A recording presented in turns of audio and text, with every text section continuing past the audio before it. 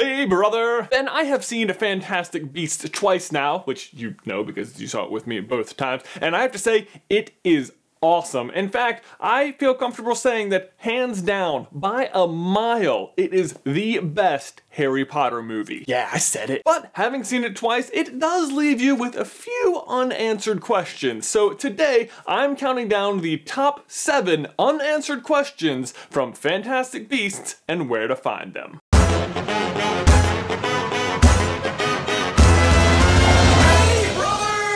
Quick warning, if you have not seen the movie, this video will have spoilers. You have been warned. These are in no particular order, so we'll just kick it off right here. Number seven, who is Newt's brother? This question stems from a very brief line from the crowd of wizards in the MACUSA after Newt emerges from his case. Everyone starts asking, oh my god, who is that? Someone says Scamander, the war hero, and then someone else corrects them saying, no, it's his little brother. To clarify, the war they're talking about is World War One, like the actual World War, not the first Wizarding War with Voldemort, because, well, that just hasn't happened yet. But the real reason this piqued our interest is because earlier in the movie when Newt is talking to Kowalski, he definitely has like an elevated level of interest when he learns that Kowalski fought in the war. But even upon learning this, he doesn't bring up his brother, so it leaves us wondering, what is that relationship like? In an interview with Colin Farrell, who played Percival Graves in this movie, he revealed that Newt's brother's name is Theseus, and that Theseus had corresponded with Graves at some point. Now what's interesting about the name Theseus is that in Greek mythology, one of the things Theseus is most famous for is slaying the Minotaur, which I would bet would classify as a fantastic beast, and if you've seen the movie, I think you would agree, Newt would definitely not approve of such behavior. Now, I doubt it's that Theseus or that this Theseus has also slain a Minotaur, but I don't think the connection can be ignored. And the fact that he is considered a war hero suggests that he is good at, or at least okay with, violence. And since Newt doesn't bring him up, I'm betting they don't have a great relationship, but definitely bet we also meet him eventually. Further complicating that situation is that we know Theseus corresponded with Graves, but we don't know whether that was like with Grindel Graves or with like actual regular Percival Graves, which brings us to number six.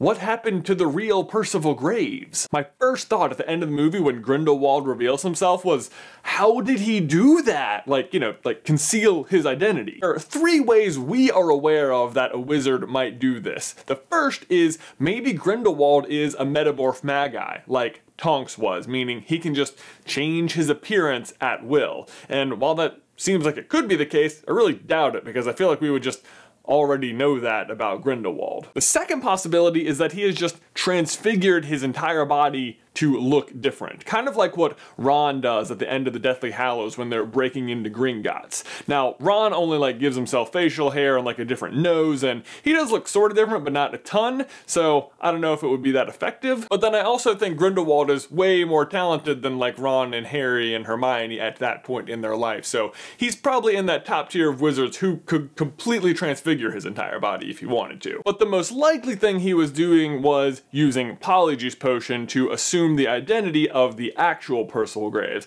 And I say that's the most likely option because producer David Heyman actually said in an interview that's what was happening. Someone used some Polyjuice Potion and, and, and took their place. But it's not like we saw Graves actually drinking anything the whole movie, so there is some room there for them to change their minds if they want to. But I kind of hope it was Polyjuice Potion because that would mean that the real Percival Graves is still out there somewhere. Grindelwald would have had to have kept him alive so we could keep keep using his DNA in the potion, and it means that Colin Farrell could come back in the next movie, and I loved him in this one, so I hope that's what happens. And speaking of people coming back, that brings us to number five, how slash just Will Kowalski remember everything? Easily the saddest point in the whole movie is when Jacob walks out into the rain, voluntarily wiping his own memory. But then, just before the credits roll, we see Queenie visit him at the bakery. She smiles at him and he returns the smile and also reaches for the spot on his neck where he was bitten earlier in the movie, suggesting that he does remember something. Plus, all of the pastries he's making are shaped shaped like the Fantastic Beasts, which he also should have forgotten.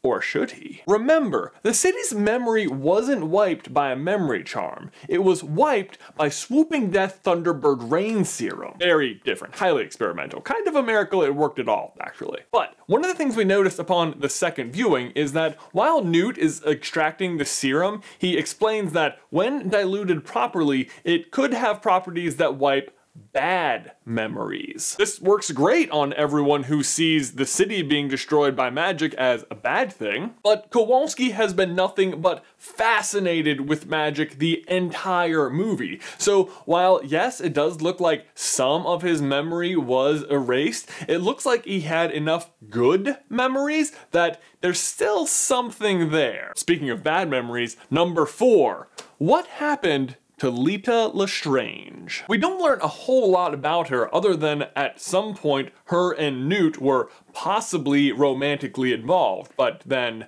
people change. Either way, he still carries a photo of her around, and I have a feeling we will see her in a future film, if for no other reason than that otherwise they cast Zoe Kravitz to be in a picture for like two seconds for like no reason. Also, her last name is Lestrange, which has all sorts of negative connotations, as in Bellatrix Lestrange. But keep in mind, Bellatrix marries into that name, so technically Leta is not a blood relative of Bellatrix, nor is she necessarily even a bad person, but I'm kind of betting that she is, mostly based on the reaction Queenie has upon learning the name. She doesn't quite finish her thought, but it doesn't seem like it was going to be a good one. My personal guess is that if they were romantically involved, their breakup had something to do with why Newt was expelled from Hogwarts. Which brings us to question three. Why is Newt allowed a wand, but Hagrid isn't? Both were apparently expelled for possession of a dangerous magical creature, but Hagrid has his wand snapped and is is never allowed to do magic again. While Newt, on the other hand, is instead commissioned to write a book and gets to travel the entire world studying his favorite thing, which also just so happens to be Hagrid's favorite thing. What kind of weird rule is this? You were expelled from school, you're never allowed to do magic again. Feel like if we muggles were expelled from school, they're like, well, sorry, you have to leave the country. Side note, my personal guess for the dangerous creature Newt had was none other than the giant squid in the lake at Hogwarts. We even see Newt carrying carrying around a small, but still kind of large, squid-like creature inside his case at one point. The point is, Hagrid got a raw deal, but while we're on the subject of Hagrid, I think I've decided I'm going to start collecting Hagrid toys. Check it out, I've already got two. And I found this awesome You're a Wizard Harry shirt the other day, but it turns out it's way too small.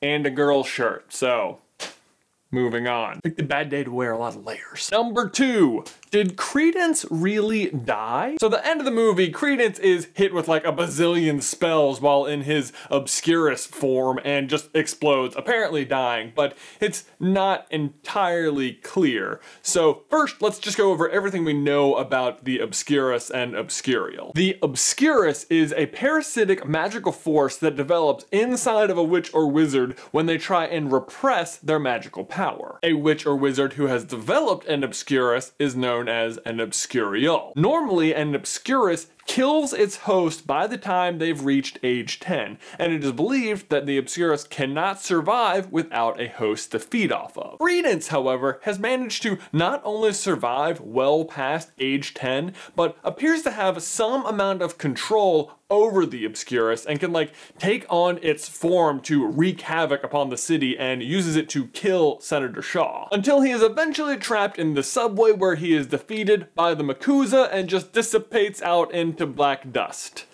Or does he? Most of him does seem to just sort of fade away, but we do see Newt staring after one final piece of blackness that does seem to still be moving of its own accord. It seems clear to me that just not everything is known about Obscurus yet, so the question is, did Credence himself survive, or did maybe just his Obscurus that's seeking out a new host? Which brings us to our final question, number one, who is Credence's mother? Very little is known about Credence's upbringing other than that he is actually a very super powerful wizard who was raised by a super wizard hating woman, Mary Lou Barebone. Mary does say his mother was a wicked, unnatural woman, suggesting that she was a witch and maybe that Mary herself had something to do with her death. But the fact that his parents are dead is obvious because, you know, he's an orphan. So why bring up his mother at all to like us, the audience? I mean, who was she? First, this seemed like a daunting question because we just don't know of that many like old American wizards. But we do know of some, and if those are the only ones we have to choose from, well, kind of narrows the field for us. Because really, the only other people we know a lot about are none other than the founders of Ilvermorny, and you can see a whole video about them by clicking the card. Two of the founders, Isolt and James, were married. The other two founders were their adopted sons. But along with their adopted sons, they had two biological twin daughters, Martha and Rionach. Rionach never had kids because she didn't want to extend the family line dot dot dot. Martha, on the other hand, was a squib. She married a No-Maj and lived a pretty ordinary life, and whether or not she had kids is actually unknown. But I think she did, and that Credence is actually descendant from her. Graves even says, I can smell squib on you, meaning he is a descendant of the line her sister tried to avoid extending. She tried to avoid this because the whole family are descendants from the Gaunts, and therefore, wait for it, Salazar Slytherin. Enemies of the heir? Beware. Super powerful descendant of Slytherin growing up in an orphanage barely surviving death? Sound familiar? But there you go. Those are our top seven unanswered questions from Fantastic Beasts. Or actually, I should say those are seven of the top eight. Those were in no particular order, but number one was definitely number one. That video will be on Thursday. But until then, if you had any other questions from Fantastic Beasts that you'd like us to investigate, please let us know in the towel section down below. These socks are amazing! Guys, thanks for watching. As always, please like this video if you haven't already, and subscribe so you don't miss any future Harry Potter content. After Thursday, you'll be able to click right here to see the video I was just talking about about. But until then, if you want to know all about the history of magic in North America, I recommend check out this video right here. But Ben, that's all I've got for you today, man. I will see you in another life, brother.